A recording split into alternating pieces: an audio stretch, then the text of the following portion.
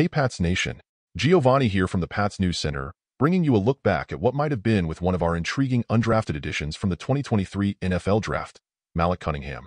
This versatile player out of Louisville was signed by the Patriots as a quarterback, but his skill set suggested he could contribute in multiple ways, including as a running back or wide receiver. Despite his potential, Cunningham didn't get many opportunities to showcase his abilities during the preseason. He was listed as a quarterback on the depth chart, but only saw action in one regular season game before the Ravens claimed him off our practice squad. It felt like a missed opportunity for us to see what he could bring to the NFL. Now, the Ravens are making the most of their unique acquisition. Given they already have a two-time MVP in Lamar Jackson leading their offense, Cunningham's chances to play quarterback were slim. So, John Harbaugh and the Ravens have officially listed him as a receiver on their roster, a move Cunningham has agreed to in his desire to play in the NFL in any capacity. While he may be more limited as a receiver, this transition allows Baltimore to explore his potential fully. If the receiver role doesn't work out, there's still the possibility of using Cunningham as a running back, a position he excelled at in college.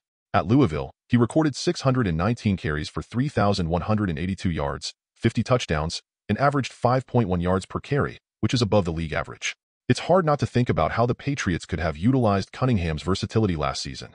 With Mac Jones and Bailey Zappe struggling, a player like Cunningham could have added a new dynamic to our offense, potentially tricking opposing defenses or providing a spark in the backfield. Unfortunately, we'll never know what he could have achieved with us.